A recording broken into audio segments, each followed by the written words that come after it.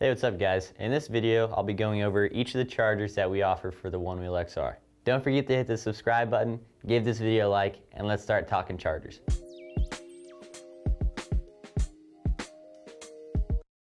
Here we have the XR home charger.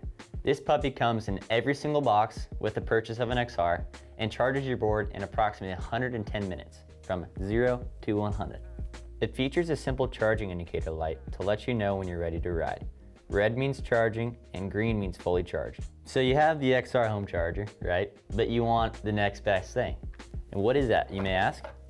The Onewheel XR Hypercharger. This thing is an ultimate beast and charges your board, eh, which is crazy, in 60 minutes. That's half the time for double the shredding possibilities.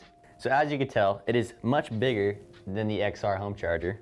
But if you are the serious shredder, and you want to be able to pull up to a spot and charge your board 0 to 100 real quick, the XR Hypercharger is a charger for you. But wait, there's more. And last but not least, we have the XR car charger. This is a real game changer for if you're in between spots in the car and you're just looking to top off. It does take longer than the XR home charger to reach 0 to 100% charge, approximately three hours. So if you're going from spot to spot and you just want to plug it into your car, and give your board a little bit extra juice, this is a charger for you. Now, Ted, how would you use all three of these XR chargers? There's so many to choose from. I don't know what to do. Let me tell you, the XR home charger has been plugged into the same outlet in my house for probably a year and a half. Doesn't move, is always there when I need it, and I get home, put the board on the charger, and I'm ready to go.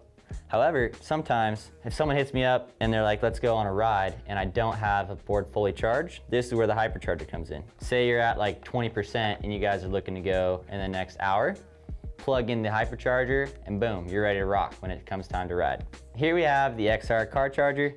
This is super good for when I'm on long like road adventures or anything and I have my XR with me. Uh, plug this into the car, top off my board. Anytime I need to stop on the side of the road or anything, I'm ready to ride.